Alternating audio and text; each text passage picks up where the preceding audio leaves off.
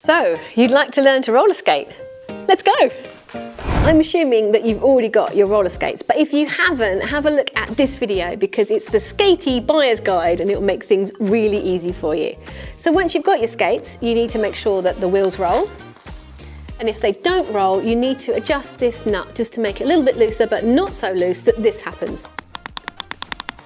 So you don't want any movement on that axle. And you also need to check your trucks. On a roller skate, trucks are your steering, and if these are really, really tight, you're gonna find it really hard to skate. So you need to make sure you've got some movement in these by adjusting this nut. And the last thing, before we actually stand up and get skating, is your laces. Always go top down on these hooks.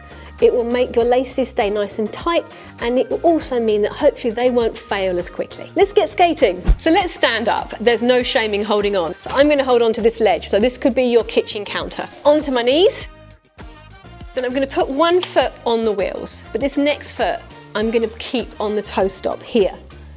So this gives me stability. So this one I've got more weight on here because this isn't going anywhere on this toe stop. And then I'm gonna straighten up but always keep a slight knee bend and then bring this foot into the V position beside the other one. And we're standing. I know at this point all we're doing is just standing up, but this stuff is still a really good idea, especially if you're in your house because you can fall and hit yourself on a number of things like your table or a chair or your kitchen counter. Oh!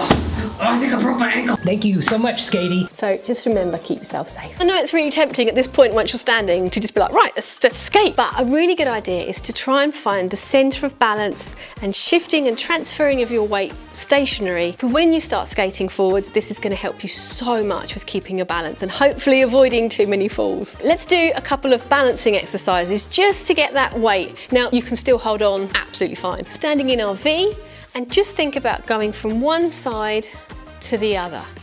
So I'm transferring all my weight, I'm bending this knee more and all my body weight's going over this foot, coming back to center, bend this knee more and then lean this side. Body weight goes over this leg. Back to center. This will really help you because skating is all about transferring your body weight from one foot to the other. Now if you're finding you're getting too wobbly doing this, make sure your feet are nice and close in that V. This can be a very small movement at first until you feel more confident. It helps to think of this as knee over toe to get that bend and that weight transfer.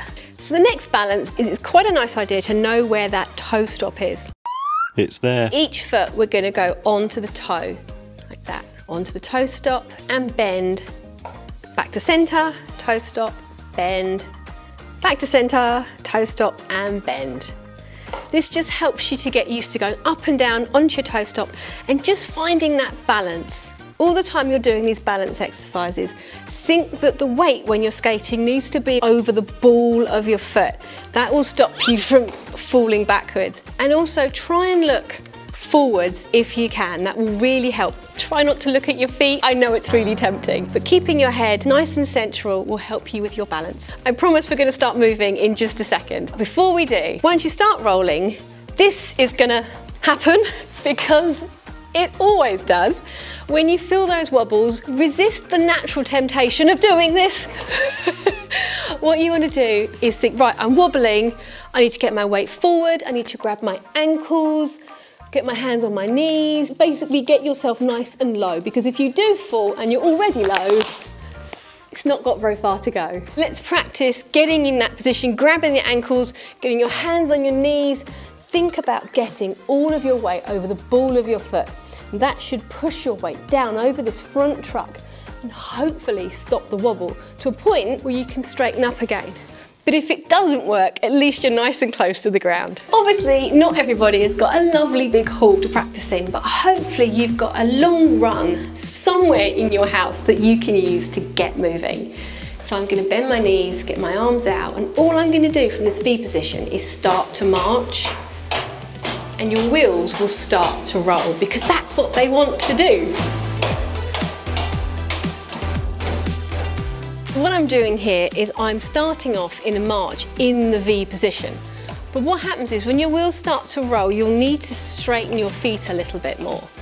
just keep that gentle march and this will get you your first roll. The biggest temptation with this is to think of it as trying to walk, but you're not gonna get anywhere.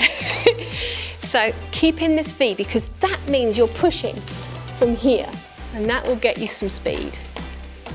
Then you can straighten up once you start moving, but keep that marching. Think about coming forwards, not backwards like this. We've spoken a lot about moving, but one thing you will very quickly encounter is also the need to stop. So when you're a beginner, there is no shame in using the wall to stop, but I'm gonna show you another technique as well. One thing we can use to stop is the toe stop. After all, it does have stop in the name. However, you need to use the toe stop correctly and safely. So let me show you how not and how to use it. So the temptation is to just put it behind you and drag it along. That feels really horrible and it hurts my toes. So let me show you how to do it properly. When you're going to use the toe stop, you want to turn this hip out and keep tension in the leg so the toe stop doesn't bounce around all over the place. So if I'm marching, I'm going to apply pressure gently and apply more pressure as I start to slow and that will control it. Make sure your foot's turned out.